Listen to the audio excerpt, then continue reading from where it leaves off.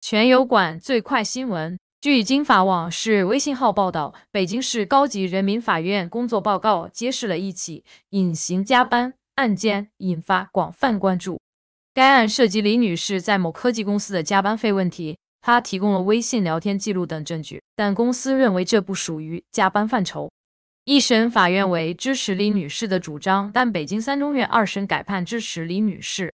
这是全国首例明确隐形加班问题的裁判文书，为利用微信等社交媒体进行加班提出了认定标准。在数字经济背景下，劳动争议也随之产生了新挑战。本案填补了法律空白，保障了劳动者权益，并为类似案件提供了参考与借鉴。这一创新突破展示了法院在回应科技创新方面的能力和态度。